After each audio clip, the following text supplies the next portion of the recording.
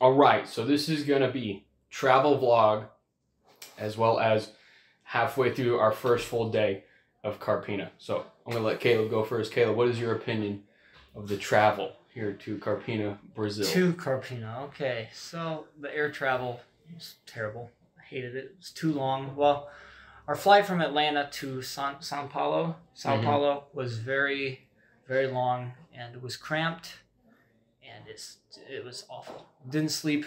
Um, last night, about around going to bed, I personally hadn't slept for about 28 hours.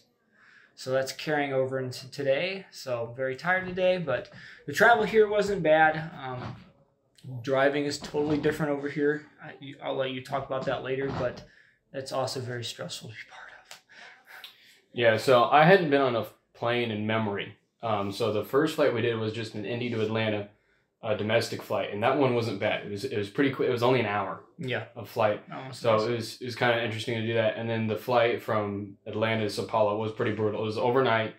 It was nine hours. We tried to sleep, and it felt like the entire plane couldn't sleep. So just binged movies, trying trying to find anything to live for. And then we got there, waited around, um, got escorted through the airport, um, and that was crazy. The layout of the Sao Paulo airport wasn't wasn't like the American airports, like the Indy and Atlanta airport we'd been in. It was kind of more squiggly, I want to say, in Yeah, terms of how there- it was devel- designed. So there wasn't like an open sitting area at all. It was just kind of a. It was almost like you feel like between your destination and a parking garage. You know, it was just kind of like. well, and it felt like going. The whole thing was like going through a mall. Yeah, yeah. and there was like giant whatever. So we got through to Sao Paulo and then flew to Recife. Flight to Recife, I finally slept. So I, I didn't I was going on 24 hours straight of being awake and finally got some sleep in the Recife airport uh, air ride. Uh, we got here, uh, drove out to Carpina, which is where we're at now, and then got here and I took a nap. Yeah, he. okay, so now we're on to when we got here. we arrived and kind of met a few of the people which we were doing with. Well, I met. He's he's had contact with a lot of these people, but it was my first time meeting a lot of these people. But we got contacted with them, and you know we got settled in here, and both took showers. You know, twenty eight hours. You know, or what what was it? Twenty one hours total travel time.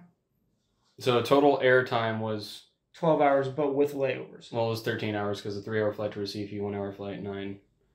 So t- 13 hours in the air, but we were awake because we, Yeah. we woke up early. With, layovers, it was probably around, I 18, 20 hours of total travel. it was brutal.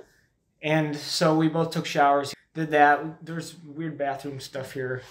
Would not recommend. Different. It's different. No, it's, it's- not weird. It's it- different. Oh, okay. It's politically, different. Politically correct. It- no, it's just different. It's different. It's a different situation than we're used to in the States. And we noticed that first thing when we flew into Sao Paulo, I had been awake for over 20 hours and I go to the restroom and there's in Sao Paulo the, it was interesting going from the US where it goes English and then little little letters Spanish. It was um, big letters were Portuguese and the little letters were English. So Yeah. trying to read that and uh, basically uh, so far in all of Brazil you don't flush your TP Yeah. which has been is what our, our trip leader says a culture shock. Culture shock. So it's hard breaking old habits, but you have either a trash can that you throw it into. It's like it's like those disposable needle cans at the doctor's office. You kind of it's not open. Anyways, throw it in there, or you have you can go out You there. have, you have a bidet gun. yeah. And then one of the other culture shocks is the uh, there's no hot water for the shower. It's an electric. Uh, the shower head is electric, and that's what heats the water. So that's been interesting to go go through. But um, the hotel we're staying at is very nice and has been very accommodating to us. Very um, very nice. so far. I don't really have anything else to add about traveling here. Just I think the culture shock for me was the the driving part. I think that was I mean you you know over in Asia and you know some parts of Europe and the Middle East is like this, but I Mhm. never thought it was going to be The the smaller cars smaller cars and, and it's just you No don't hit me and I won't hit you kind of Yeah. mentality. And I think it I think a big thing about it is because it's in kilometers, the speed limits, yeah everyone's driving slower. So you don't have people just cruising around at 45, 50 miles an hour, which is a much higher speed than people are going here. So when someone turns out in front of you here, you have time to just brake, stop, wait. When a dog Yeah. wants out on the road, just brake, stop, wait. And it's all as in the U.S. You just keep going because you, your inertia doesn't let you stop that quickly. Yeah. So basically, if you want a rundown of it, watch um, Gabriel Iglesias is going to India or whatever. That is Yeah. like a total. I mean, the first when we were driving on the highway, there was a cow standing in the middle of the road. I mean, that was probably like the big eye opener because we haven't seen really a city yet, but there was just this cow standing in the middle of Yeah. the road. I was like, oh, okay, that's that's that's what we're doing here. But traveling, I think overall went a lot smoother than I, it could have gone. But Well, I mean, we could have had delays. yeah, Well, I mean, most of our planes yeah, left that's early. that's what I mean. So in terms of like the travel, it really couldn't have gone better. It's just Yeah. a lot of flying, and it's just it's, the way it it's is. tiring. It's tiring. I mean, really is. But um, so it's our half halfway through the first day, and you you start kind of going off of today and maybe a little bit of last night. Yeah. So last night was the leadership conference. Uh, Hubert Nolan spoke and did an excellent job. Telly translated, excellent job as well. Telly Moraes, uh, just really excellent job by both of them. Uh, really impactful.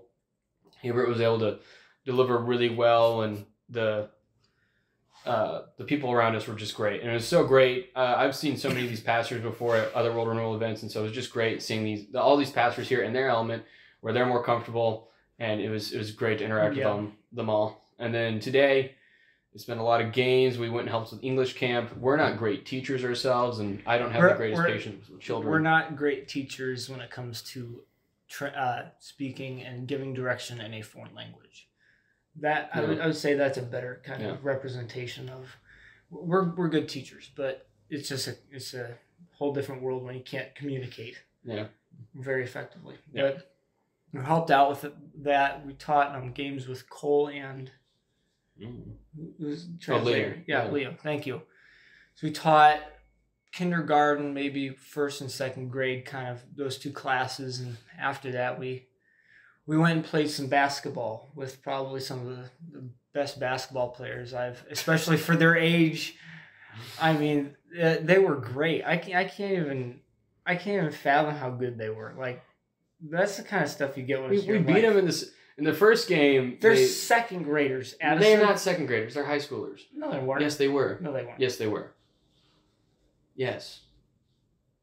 Yes. We played a bunch of high schoolers, and they they ran an excellent pace and space, and so they would come up and they, I would go for a rebound. They just come up and get it in front of me. I didn't know how to box out. That they were so quick. I didn't know how to box them out at first. And so the first game they just paced and spaced and torched us with threes. Second game they were a little more tired, so it was uh, camp, it was counselors versus children. Um, so the counselors were able to win because we were all taller. So at one point, me and Caleb were just throwing the ball off the backboard, passing it to each other, trying to make it in. He's speaking for himself. I, I wasn't that tall. But But you know, old Yeah. man game won in the end with the just stand under the basket, let your friend shoot a three, you'll rebound, and put it in. So we won. I, I nailed a couple. Mister, Lost I, I can't put it up with the baskets like right there. lost game one, He- won game two. He had that action going where he'd miss and he'd just catch it under the basket and just keep trying. There was one time he went for like five times. I I wasn't counting. I was. Oh, good, good. Thanks. Really appreciate It was that. embarrassing. Should have been very embarrassed. they were all embarrassed for you. It's Well, I okay. eventually made it. I know. I, I was throwing airball threes, so it, it doesn't really matter. Two two old men pl- trying to play basketball. It's not good. I'm not old. You want to go? Well, You, tonight we're going. you pull your hamstring bending down, Addison. Wow. As editor, I might take that out. Oh yeah. You suck. So tonight is simple. We got a we got a counselor basketball game. It's gonna be all the teachers who helped with English camp going at it in basketball, and then we have another leadership conference with uh, Hubert Nolan. It's gonna be great. I have all the faith in that, and then we'll see what tomorrow holds. I'll try to do at least one of these daily. Um, we're also trying to record different bits and pieces, so trying to keep the cameras rolling. We'll see what happens. And thank you for watching this bit of A to Y.